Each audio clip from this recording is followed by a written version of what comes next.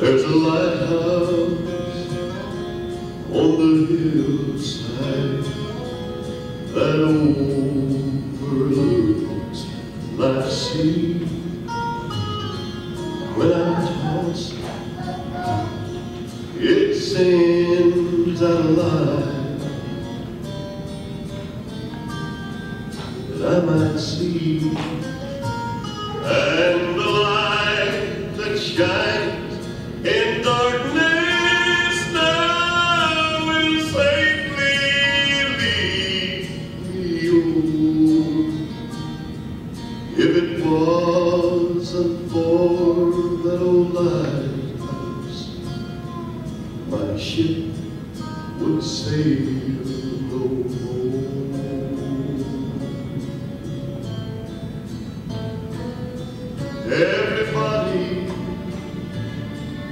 lives around us says, why don't you tear that lighthouse down? You know the big ships, they don't sail this way. Ain't no use of it standing round.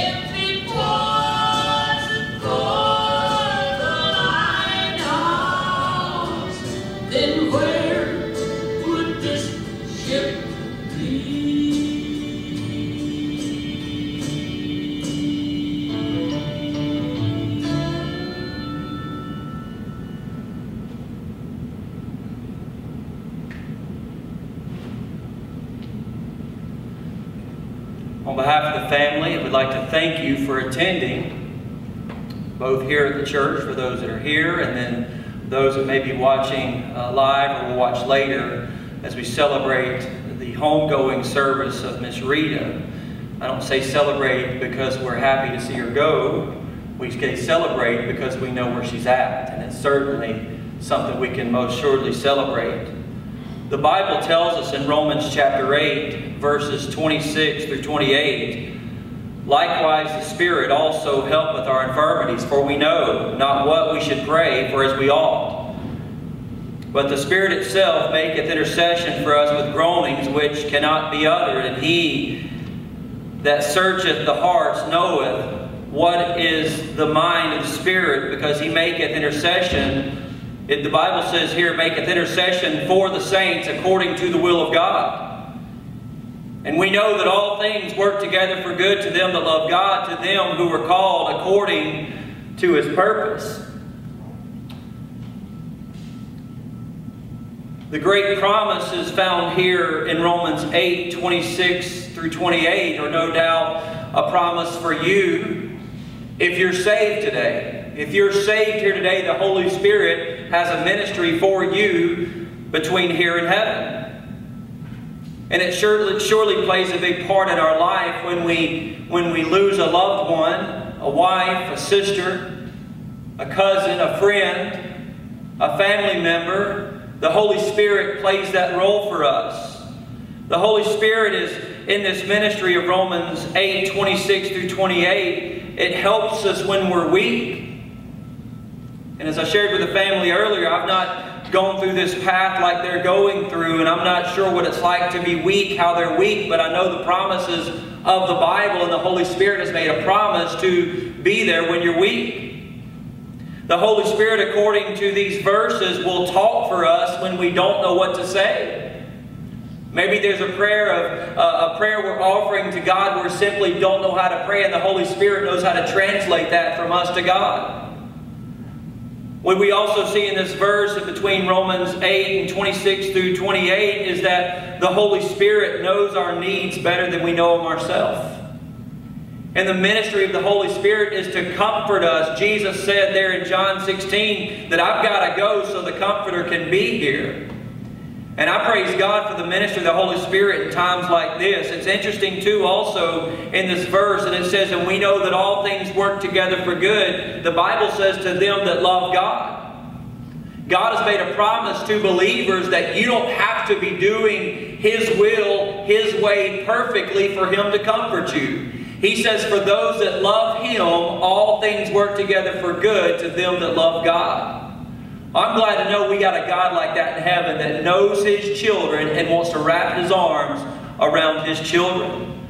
The Bible tells us in Psalm 46, verse 1 and 2, the Bible says that God is our refuge and strength. and says a very present help in trouble. Therefore, in verse number 2, it says, We will not fear. It don't say we won't suffer. It don't say we won't hurt. It don't say we won't be lonely. It says we will not fear. In the wee hours of the morning, as Brother Tim and Miss Linda was holding the hands of Miss Rita, you know what I watched in their eyes as they were holding her hands as she was leaving this life to the next? I saw sorrow. I saw loneliness. I saw hurt. I did not see fear. They had nothing to fear that night. For they knew that when she drew her last breath here, that she was going to be present before the Lord.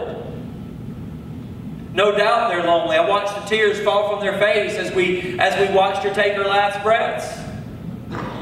I know they miss her. They love her. Like all of you do. But they did not fear. The Bible tells us in Psalm 46 and 1 and 2 that God is our refuge, our strength, a very present help in the time of trouble. Every time you understand this verse, it's right now a very present help. God is our refuge in the fact that He will shelter us and protect us from danger or distress. The Bible tells us, we'll see later here in the service, that we can sorrow. We just sorrow not like everybody else, for we have hope. You see, there's a resurrected life a Christian will enjoy in heaven forever and ever and ever.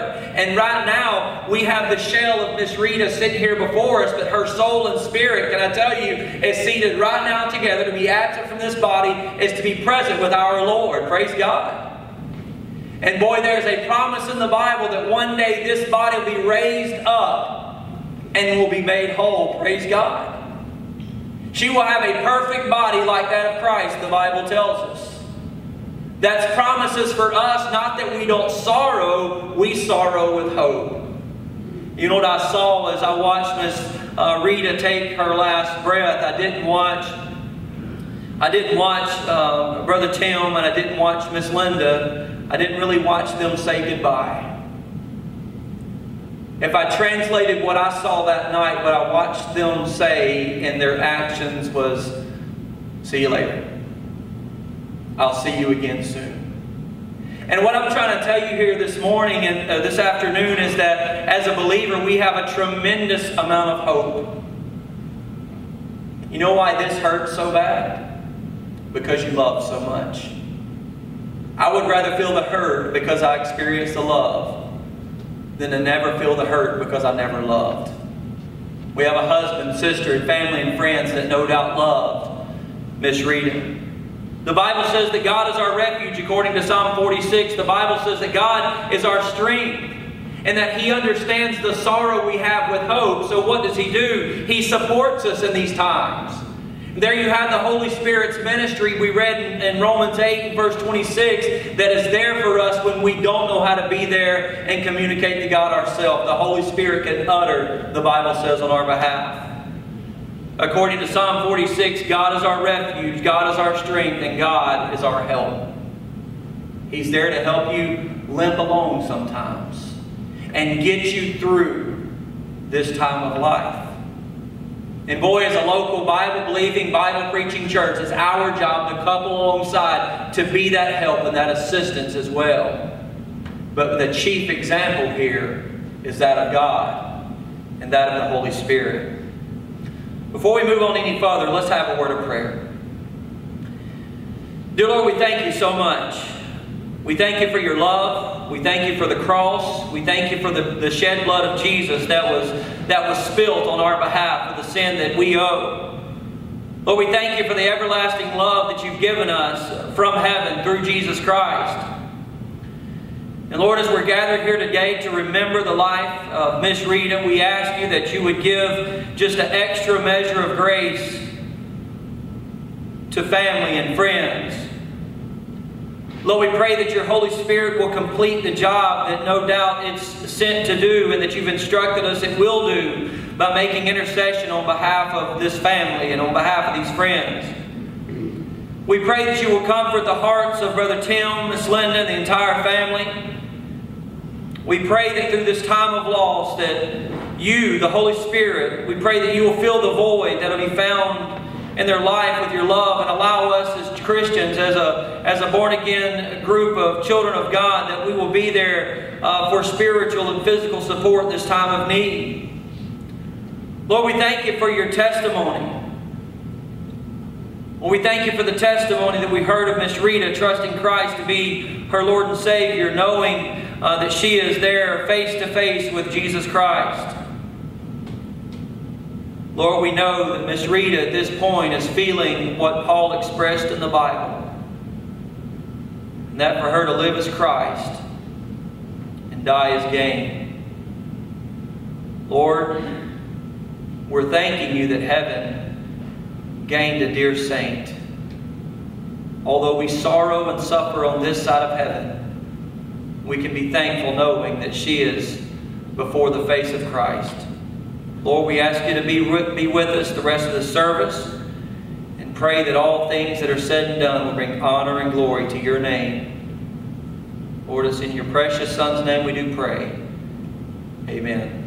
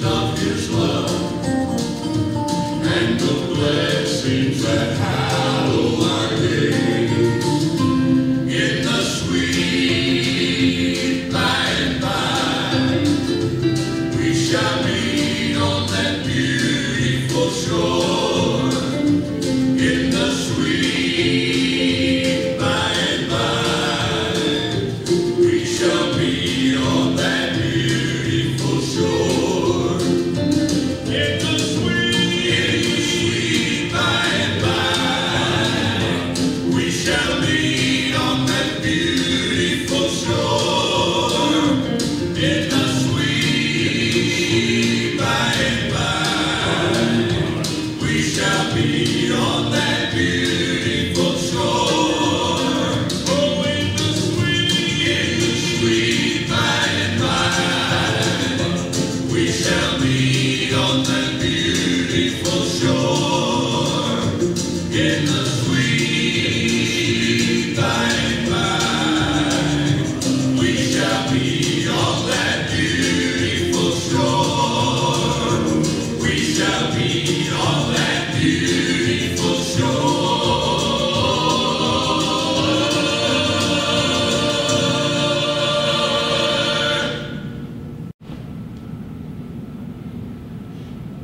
In the sweet by and by, we shall meet on that beautiful shore. Amen. At this time, I'm going to read some remarks here about Miss Rita. When I'm completed with this, if you'd like to share a memory, a story, or testimony of Miss Rita uh, that's personal to you, we certainly want to give you that opportunity. And if you don't, understand, uh, and we'll just progress forward with the service. Miss Rita Jo uh, Edwards Cooper, 63, of Tipton, passed from this life to the next. On September 2nd, 2020, at Ascension St. Vincent Hospital in Indianapolis.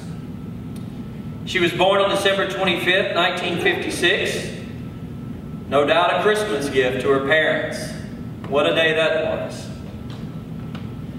John P. and Catherine L. Gibson Edwards. On October 19th, 1985, she married Timothy W. Cooper, and he survives. Brother Tim shared with me that this October 19th would have been 35 years, and as he shares in his own words, that's no record, but it is something to brag about. And that is something to brag about. I told him I've got a few years before I can catch up with him. So, but thank you for the testimony of loving your wife. Thank you for the testimony of taking care of your wife.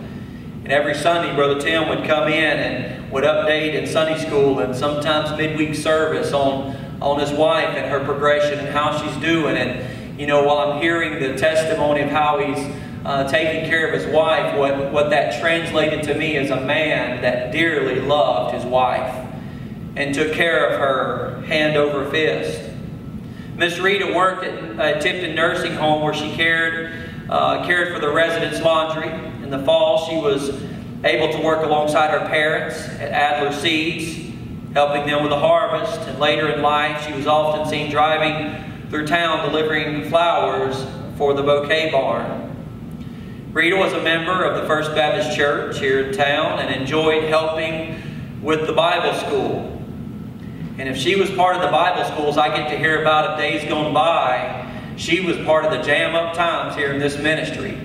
Uh, one of the one of the highlights I hear about First Baptist Church in its past in the 60s, 70s, 80s, and into the 90s was just the dynamic Bible schools they had all the time. And uh, seeing that she had a part of that is just a tremendous testimony. And, and what I couple with that personally is, is what she may not have realized working in the trenches of Bible school, and those that know, know it's trench work, is the kids that witnessed her work ethic.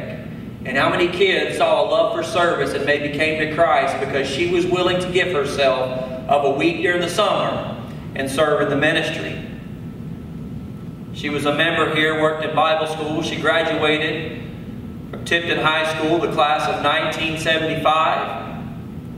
Her hobbies and interests included sewing, making greeting cards, and being in the kitchen baking. Brother Tim was a great recipient of that, weren't you? Amen. She is survived by her husband Tim, stepson Tony Cooper of Tipton, sister Linda Stacy and husband Charles of Tipton, and several nieces and nephews that she loved dearly. Standing in the hospital, talking with Miss Linda and Brother Tim, the one thing they kept sharing over and over again was the deep love she had for her family. She loved her family tremendously. Preceding Rita in her homegoing were her parents and sister, Rebecca Nelson. At this time, if there's anybody that would like to add any testimonies, memories, or stories of Miss Rita, now would be a perfect time for that. Give you just a couple of seconds, minutes here to collect your thoughts and give you a time to share a story if you would like to. Anybody? Usually when the first person shares, other people then join on in. So if you want to be the first, you go ahead. Anybody?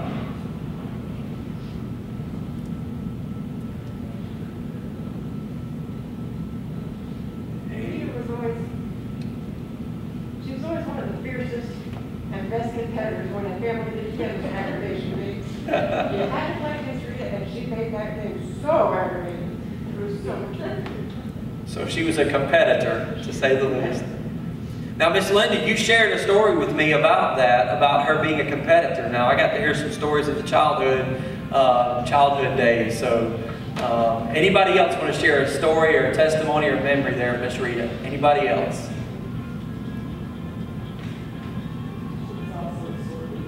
She was also a sore loser. That's why she was so competitive, to say the least. Amen.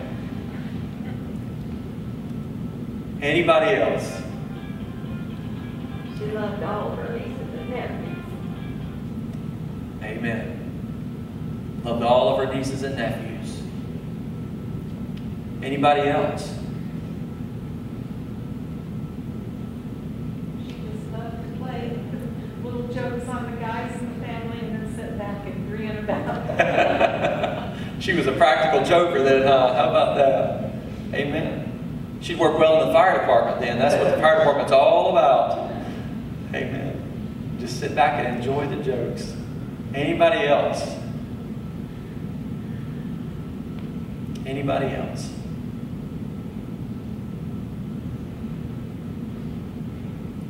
All right, we'll listen to this next song by request of one of her one of her favorites, and uh, Brother Tim asked that we had this song played uh, during the service.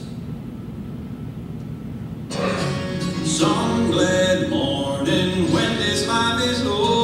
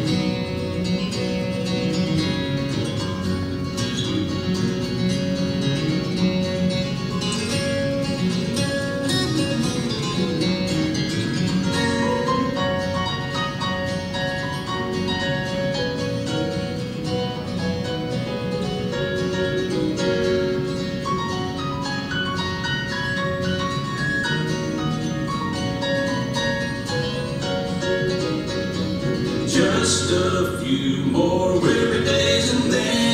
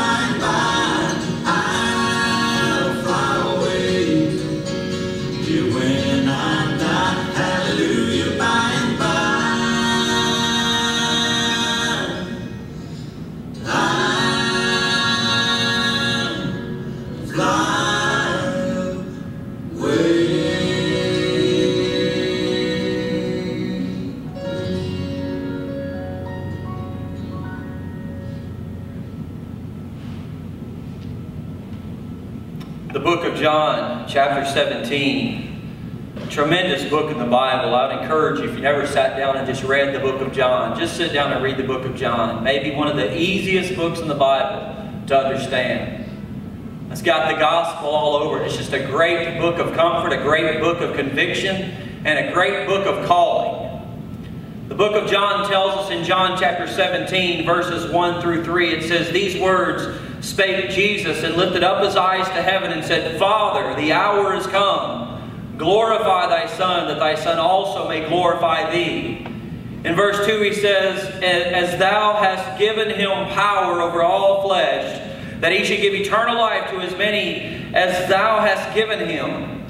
Verse 3, he says, And this is, this is life eternal, that they might know thee, the only true God, and Jesus Christ, whom thou hast sent.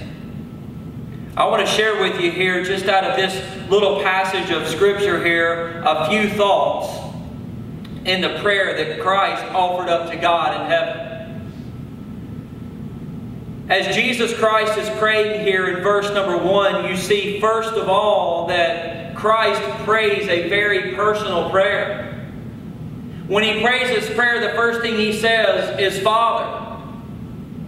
Jesus was no doubt connected with God because Jesus is God, but he shows us the personal connection. Secondly, when Jesus Christ is praying here, uh, Jesus is recognizing before God and for our example that there are appointments in life. As we were sharing with the family earlier, most everyone celebrates the birth of a newborn. We all understand this is an appointment in life that we all must face. Nobody's ever really ready for this, but the only thing that makes this possible to go through is knowing of the salvation of the one that's before us. And we can thank God today that Miss Rita knows God as her father. Amen. We can thank God today that Miss Rita uh, knew that her hour was coming and therefore she made sure that she knew God as her father. Jesus, as he prays here, he says he wants to glorify thy Son, and as he prays, Jesus Christ prays a very specific request. He makes it very personal and very poignant with God um, as he says, I want to glorify thy Son. What Christ is asking, in essence, from God of heaven, he's asking this. He wants strength to endure the cross. And as he prays in this heartfelt uh, request to God, not only does he have a specific request, he has a specific reason, and the reason was that the Son, Christ, may be glorified.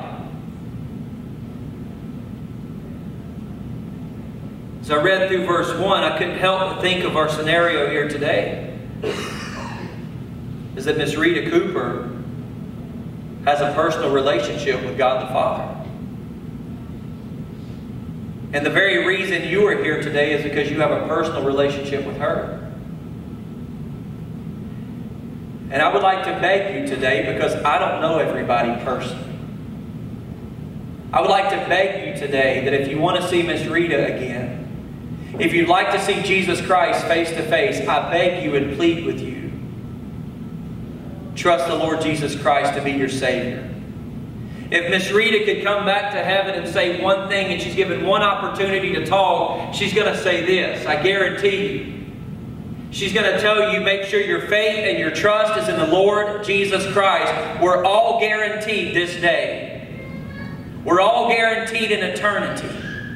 And without the Lord Jesus Christ being the Savior of our life, our eternity would be spent in a devil's hell and not a God's heaven. And she would come back today and say, listen, heaven's real and heaven's worth it. As we're sitting here today, I kept thinking about this verse and I could only think about the specific request.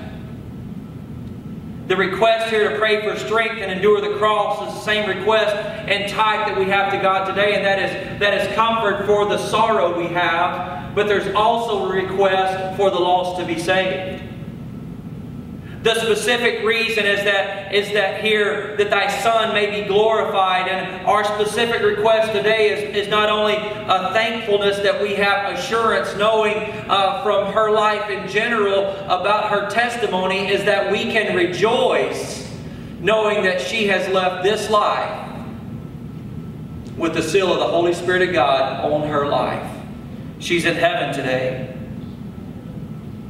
In verse number 2, it says, As thou hast given him power over all flesh, that, that, that he should give eternal life to as many as thou hast given him. Not only did he have a heartfelt prayer, he had a heartfelt giving of information. Christ glorified God by offering eternal life, and we can we can rejoice in the fact to know that Miss Rita has trusted Christ to be her Savior and to make the plea, uh, make the case and the plea one more time. For God uh, so loved the world that He gave His only begotten Son, that whosoever believeth in Him should not perish, but have everlasting life. God gave His Son so that all men could be saved.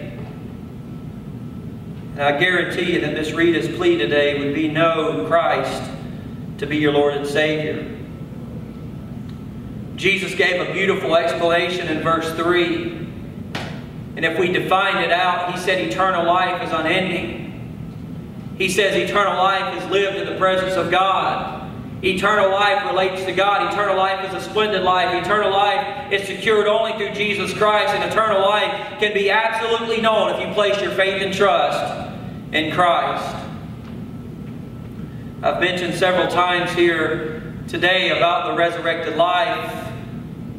The Bible tells us in 1 Thessalonians chapter number uh, 4, 1 Thessalonians chapter number 4, and verse number 13. But I would not have you to be ignorant, brethren, concerning them which are asleep.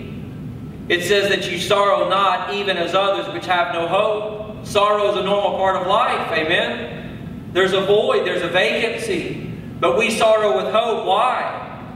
For if we believe, the Bible says in verse 14, For if we believe that Jesus died and rose again, even so them which sleep in Jesus will God bring with him. Right now, Miss Rita is asleep. Her body is physically asleep. She is with Christ. And Christ will come back and raise these bodies from the dead, those that have trusted in Him. The Bible says over in 1 Corinthians chapter number 15, 1 Corinthians chapter number 15, and verse number 52, it says, In a moment, in the twinkling of an eye, at the last trump, for the trumpet shall sound, and the dead shall be raised incorruptible. And we shall be changed. Brother Tim would come in Sunday after Sunday sharing updates and prayer requests with the physical struggles that Miss Rita had. I'm here to report today she has no more struggles. She has no more pain. She has no more sorrow. She has no more anguish with her physical life. And not only so, but God's going to take this shell of a body and He's going to raise it incorruptible. Some say, what's incorruption look like? I don't know. Never seen it. But I know whatever it is, God's got it worked out. God's going to raise up this corruption incorruptible and, and this mortal will put on immortality. So when, verse 54, this corruptible shall put on incorruption and this mortal shall put on immortality, then shall be brought to pass uh, the saying that is written, and we can answer the question, Death is swallowed up in victory. O death, where is thy sting? Can I tell you this, that as I watched Miss Rita take her last breaths, on September 2nd, she did not have the sting of death. She entered into heaven's glory before Jesus Christ. O death, where is thy sting? O grave, where is thy victory? For when this physical body is resurrected, I'm not sure the physical makeup of how the ground's going to bust wide open, but I know this much, that grave will have no victory. Death will have no sting because God is going to raise this uh, body incorruptible. He's going to bust the graves wide open because 56 says, The sting of death is sin and the strength of the sin uh, is the law, but thanks be to God which giveth us the victory through our Lord Jesus Christ. Therefore, my beloved brethren, be ye steadfast, unmovable, always abounding in the work of the Lord, for as much as ye know your labor is not in vain. The Lord.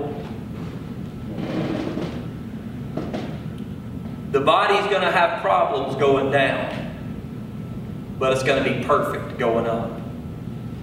The body's going to be worn out as it passes from this life, but in the next one will have all the power it will ever need. This old body will come to earth as a fleshly body that's made to break down because of the nature of sin. But can I just give you some words of confirmation? that this old body is going to be raised up as a spiritual body to never face the temptation and draw of sin again. And as a saved child of God, the only thing I know to say is to God be the glory. Miss Rita is only asleep. Because of our faith, we can tell Miss Rita, see you later. Because I'm going to heaven. As we get ready to close this part of the service, I want to ask you the question. If God were to take your life today, are you 100% certain that you would meet Christ as your Lord and Savior? Or would you meet Him as your judge? Everybody's got tomorrow until it never comes. Make sure that you know, that you know, that you know Jesus Christ is your Lord and Savior. The Bible says that when one sinner come to repentance, the angels rejoice in heaven. Could you imagine today that someone in this room is lost and gets saved? And heaven breaks out in a celebration because you responded to the gospel. Miss Rita gets to witness the party in heaven over a sinner that repents. Well, that's what the Bible says. What a celebration that is. You've never put your faith and trust in Christ, please come find me. At this point, nothing is more important than you knowing for sure that if you left this life, heaven would be your home. Brother Tim, I know you're going to miss your wife.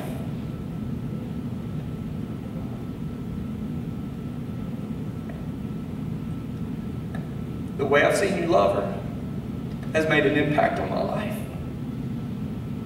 You have loved her unconditionally. My goodness. My prayer is that I could have half the testimony you got and your love for your wife. So thank you. We're praying for you. Miss Linda, you loved your sister. As competitive and mischievous as she was, you loved her. We're praying for you. The family, friends, nieces, nephews, cousins, however you're related, I know there's a void, but there's a Holy Spirit that can fill it. He's there for you. If you've never put your faith and trust in Christ, let today be your day of salvation. We can take the Bible and show you how to know for sure, for sure, for sure that Christ is your Lord and Savior. Let's bow our heads for a word of closing prayer. Dear Lord, we do thank you again for the day. We thank you for the time that we can celebrate Miss Rita's life, what she meant to those who are so near and dear to her heart. We thank you that we can come to you in a moment of need and make our petitions before you. Lord, we'd ask you now to take the things that have been said and done. We ask you, God, to comfort the hearts of those here. Lord, we ask you to let us draw near to thee as, as you have drawn near to us. We ask you, God, to be the comfort and the strength. Lord, we ask you, as we sit here this afternoon, that if anyone has not ever put their faith and trust in you as their Savior, that today would be their day of salvation. Lord, we love you. We thank you for all you're going to do. We thank you for what you've already done. And most of all, we thank you for the precious gift of Jesus Christ, our Lord and Savior. It's in His name we do pray. Amen.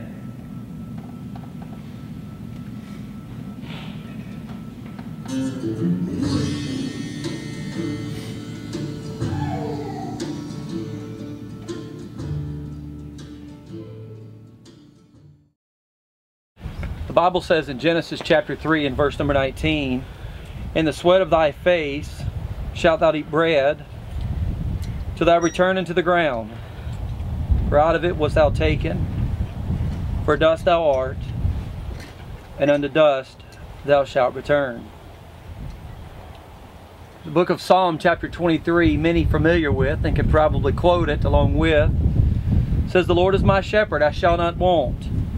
He maketh me to lie down in green pastures. He leadeth me beside still water. He restoreth my soul. He leadeth me in the path of righteousness for his name's sake. Yea, though I walk through the valley of the shadow of death, I will fear no evil. For thou art with me, thy rod and thy staff, they comfort me. Thou preparest a table before me in the presence of mine enemies. Thou anointest my head with oil. My cup runneth over. Verse 6 Surely goodness and mercy shall follow me all the days of my life, and I will dwell in the house of the Lord forever. One more verse out of the book of Philippians, chapter 4, and verse number 4 through 7. The Bible says, Rejoice in the Lord always, and again I say rejoice. Let your, let your moderation be made known unto all men. The Lord is at hand. Be careful for nothing but in everything, by prayer and supplication with thanksgiving, let your requests be made known unto God. And the peace of God, which passeth all understanding, shall keep your hearts and minds through Christ Jesus. We're going to sing the first verse of Amazing Grace. And then we'll conclude this funeral service with a word of prayer. Amazing grace, how sweet the sound that saved a wretch like me. I once was lost, but now I am found. Was blind, but now I see. The Bible tells us, For by grace are we saved through faith, and that not of ourselves, it is a gift of God, not of works, lest any man should boast. Let us pray. Dear Lord, again we come to you one more time today, petitioning you, Lord, to comfort the hearts, to support where the hurt is, Lord, to to uh, fill the void, Lord. Uh, use that ministry of the Holy Spirit we read so clear about out of Romans chapter number 8. Lord, again, we thank you for the testimony we know of Miss Rita, having called upon the Lord to be your Savior. Lord, I thank you for those that have gathered here today that uh, love her and that have been a part of her life, and if she's made an impact on the Lord, I pray that while the body may have stopped, that the memory does not quit and will live on forever and ever and ever.